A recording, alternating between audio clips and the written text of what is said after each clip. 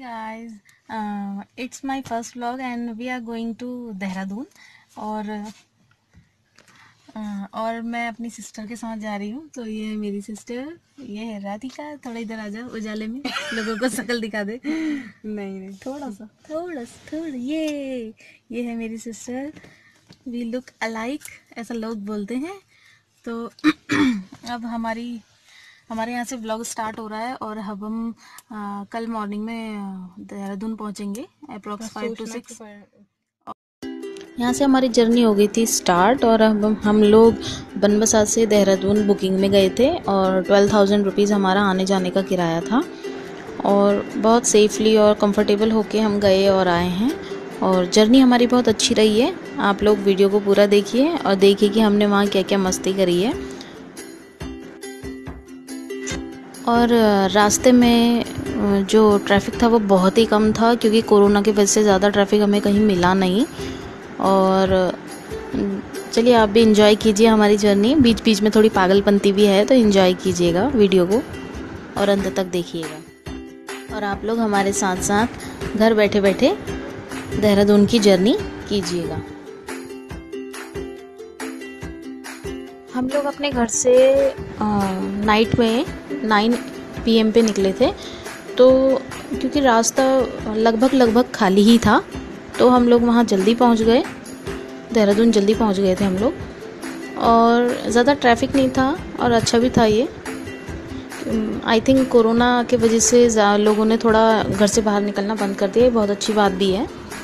और इन चीज़ों को लोगों ने सीरियस लेना शुरू किया है तो ये बहुत अच्छी बात है।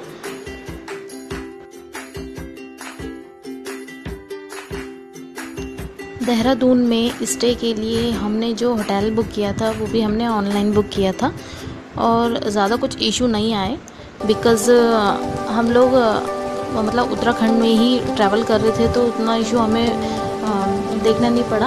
अदरवाइज़ अगर हम इंटर स्टेट में जा रहे थे मतलब वैसे सुना था कि इंटर स्टेट में जाने पे लोगों को मीन्स अपनी कोरोना रिपोर्ट दिखानी होगी टेस्टिंग रिपोर्ट दिखानी होगी कि नेगेटिव है करके।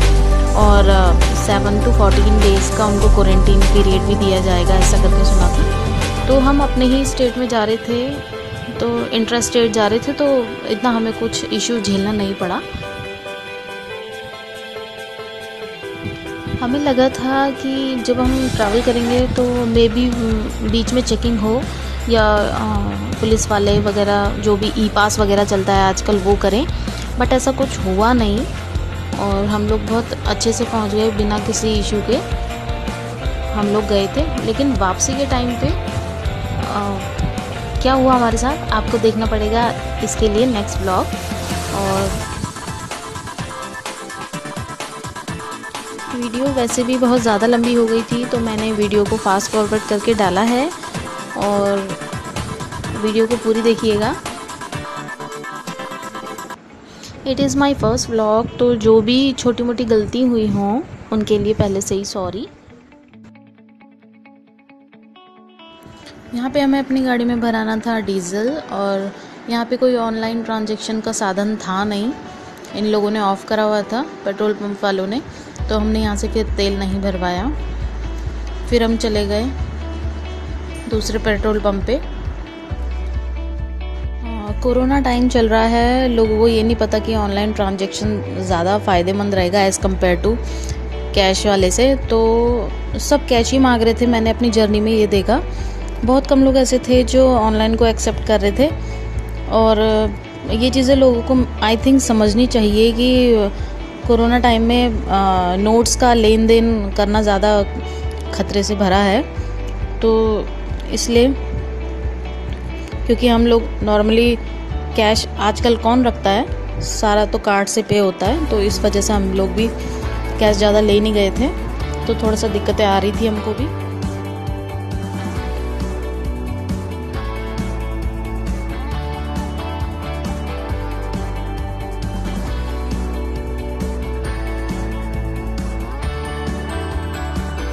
फाइनली थोड़ा सा आगे जाके ही हमें एक दूसरा पेट्रोल पंप मिल गया था, जिसमें ऑनलाइन ट्रांजेक्शन का हिसाब था।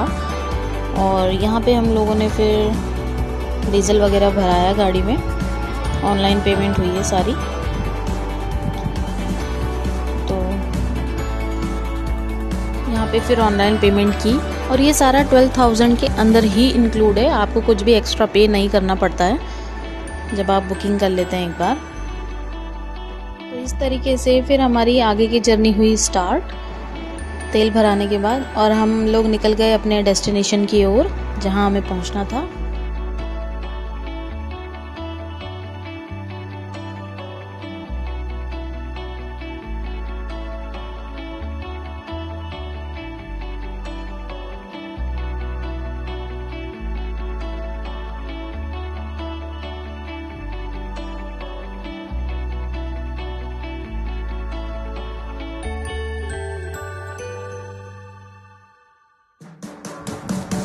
यहाँ पे मेरी दीदी और मैं आपस में बातें कर रहे थे, थोड़ा मस्ती कर रहे थे।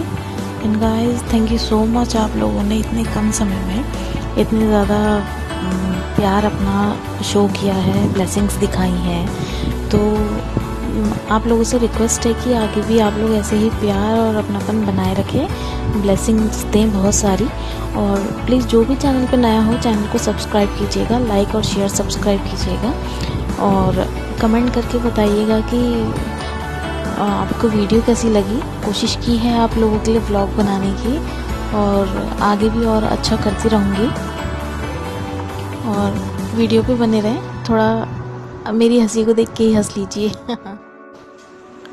मैं देहरादून जाने के लिए सुपर डुपर एक्साइटेड थी बिकॉज़ लास्ट टाइम में 2012 में मेरा टूर लगा था देहरादून का और जो ये ईयर है, वो है 2020 इसका मतलब आठ साल का गैप मैं काफ़ी टाइम बाद ट्रैवल किया था तो थोड़ा सा मुझे अजीब भी हो रहा था बट बहुत ज़्यादा खुशी भी हो रही थी।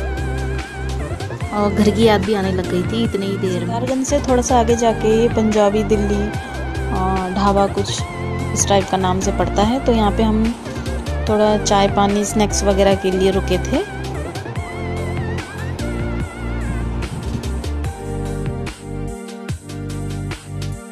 कोरोना की वजह से कहीं पे भी हमें ज़्यादा भीड़ देखने को मिली नहीं। थोड़ा बहुत सामान लेके हम लोग फिर वहाँ से निकल गए थे देहरादून के लिए। उसके बाद हम लोगों को आ गई थी नींद और हम सो गए थे।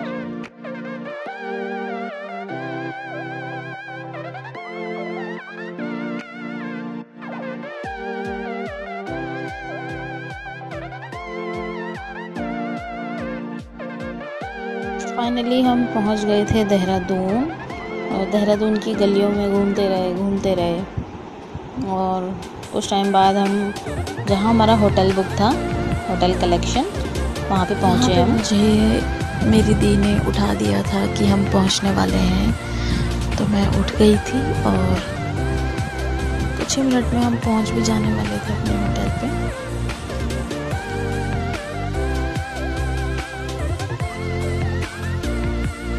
गूगल मैप के थ्रू हम अपना होटल ढूंढ रहे थे और दो बार हम एक ही जगह पे आ गए थे घूमते घूमते ऐसा लग रहा था कि हम भूल भुलैया में हमें किसी ने एंटर करा दिया हो।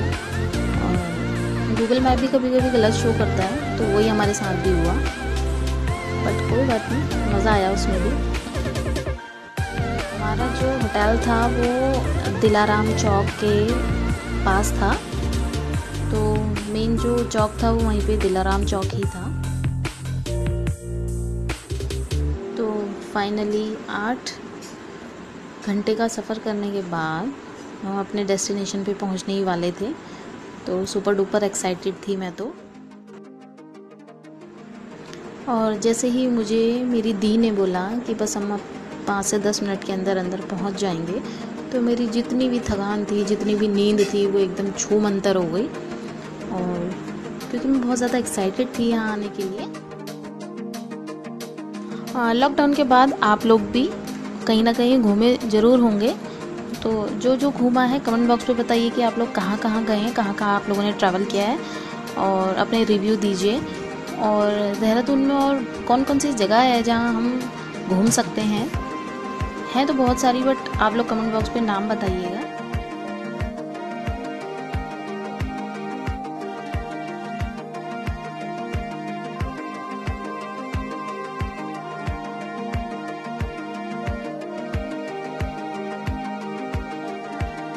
फाइनली हम पहुँच गए थे अपने होटल कलेक्शन में, अपने डेस्टिनेशन में जहाँ हमें पहुँचना था। और अर्ली चेक इन था हमारा 6 एम तक हम पहुँच गए थे। जो हमारा होटल था, वो हाथी बड़कला दिलाराम रोड इसके आसपास था। तो हम बहुत अच्छे से पहुँच गए थे। अब ब्लॉग यहीं पे करते हैं फिनिश और आगे का ब्लॉग देखने के लिए आप हमारे साथ बने रहिए। स्टे ट्यून विद अस और फिर हम आपको दिखाएँगे कि हमने देहरादून जाके क्या क्या किया किस मेन पर्पज़ से हम लोग आए थे। सारी चीज़ें आपको दिखाई जाएँगी। मिलते हैं आपसे नेक्स्ट ब्लॉग में, तब तक के लिए बाय बाय अपने होटल रूम का टूर मैं आपको नेक्स्ट ब्लॉग में कराऊँगी। तब तक के लिए आप हमारे साथ ऐसे ही बने रहें।